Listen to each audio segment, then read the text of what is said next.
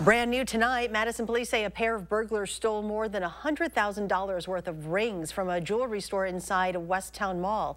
Police learned about the theft yesterday morning and are just now sharing information on it.